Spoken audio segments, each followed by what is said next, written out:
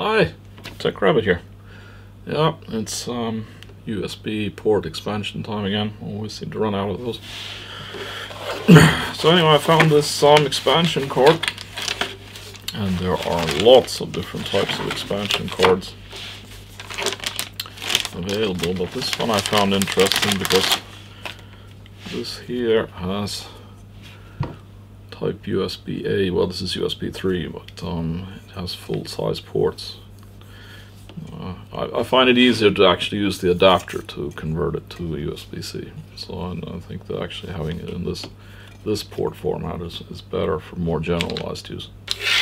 And um, uh, one of the things that I like is it has basically they've duplicated it has two controller chips, so uh, one controller chip per port wonder if that actually works. One, two, three, four, five, six, seven. No, it's actually not divisible by two. But anyway, it has two two separate controllers.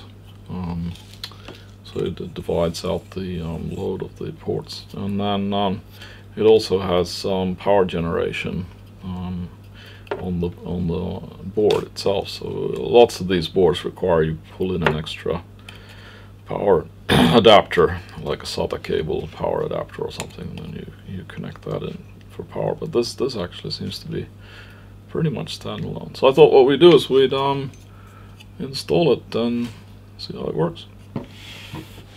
So now it's time to install this. I prepared everything so you don't have to wait for case opening and stuff. And um, actually it comes with a CD, but I I don't I would expect the drivers to be in Windows already. But anyway, I've selected this slot and this is a PCI 1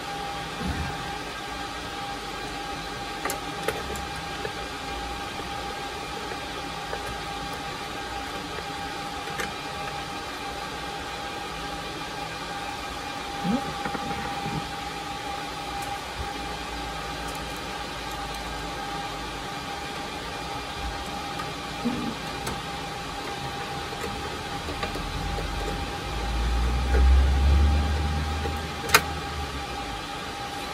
that's it.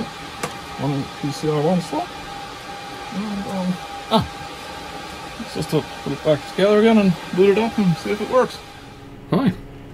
So what would be the best way to validate the USB card we added? And I thought, well, you know, the best way I suppose would be to um, connect the camera to it and um, the microphone and then um, do a small recording.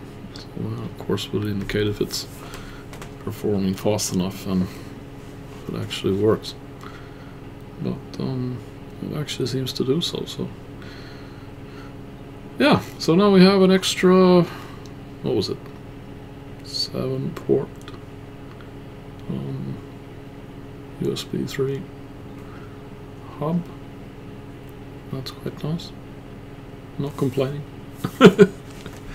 Anyway, this was just a short video about how to um, expand your USB capabilities. And um, if you like this one, consider hitting the like button. Um, consider subscribing if you'd like to see more expansion stuff and other related tech. And um, yeah, if you'd like to finance some of the purchases, then consider buying me a cup of coffee or buy me some buy some merch. Links are in the description. And uh, see you in the next one.